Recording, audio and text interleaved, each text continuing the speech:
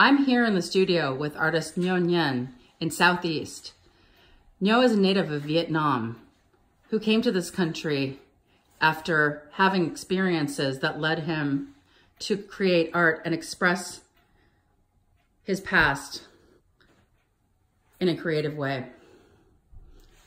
English is not his first language, but he would like to explain to you in his own words how he got interested in art, what his process is, and give you a preview for Portland Open Studios. Hi, Nho. Hi, Liz.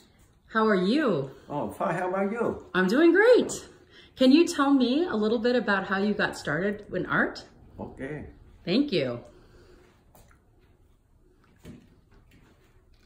Art uh, has been an avenue of expression on my life. It has carried me through tough time, political trouble in Vietnam, fighting in war, re-education camp for six years, and immigrating to the USA to make a new start for my family. Every day, I tell myself, draw all that. I paint and I have a liberation from the craziness in life. Wow, you have had such experience. Oh, I can try. Can you tell me what kind of subjects you like to paint? British and beach from Portland, Oregon, traveling in the Vietnam of my youth. And can you also tell me a little bit about your process?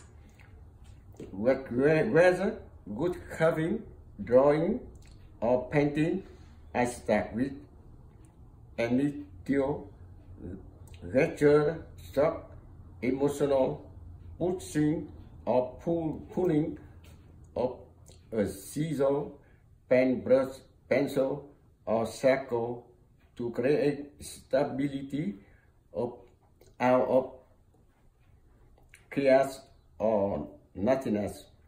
On the green, looking for focus, move, move, removing the uh, tuning, interesting, and highlighting the unique aspect of the progress. I'm going to show you all a little bit about what he's talking about because he showed me earlier. So where he starts is with wood and doing carving in, for example, plywood. You can see from the paintings, there's a unique texture to every single one that is very nice to the touch mm -hmm. and mm-hmm. takes color in a very interesting way. That is how he starts and then paints on top of it. So this is something that will be very interesting to see when you come visit Portland Open Studios. And I know that everybody is going to have a wonderful time visiting you in your studio. Thank you so much for your time today. And I look forward to seeing you in October. Okay, thank you very much. Thank you. Thank you. Thank you. Bye. Thank you.